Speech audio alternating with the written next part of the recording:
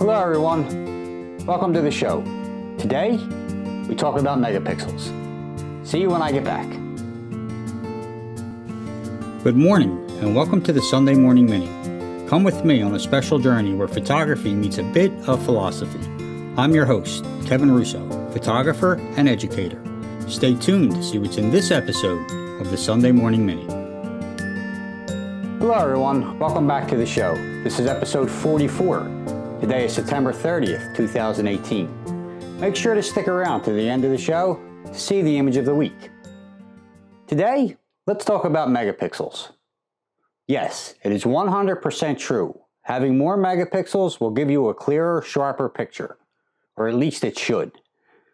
But you can have a billion megapixels, and if your ability to compose or convey an idea is off, they are worthless. More megapixels does not guarantee more pleasing images. It does not guarantee a better aesthetic. It does not guarantee a spot in the gallery.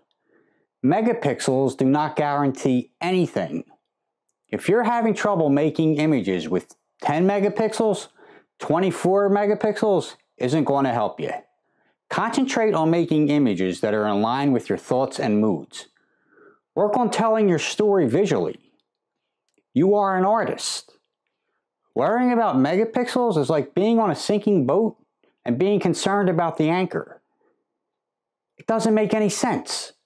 But if you must concern yourself with megapixels, make sure they are there to convey the ideas, thoughts, moods, and feelings you have for your subject. Renowned New York photographer Jay Maisel has said, You worry about pixels.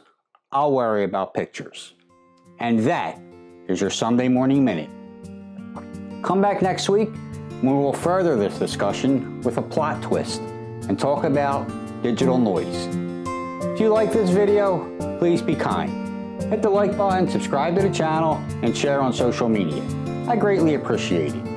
You can follow me on Instagram at Kevin Russo Photography and on Twitter at Kevin Russo Photo. Feel free to leave any comments or suggestions you have down below. Have a great week, folks. Thanks again for watching. See you next time on the Sunday Morning Minute.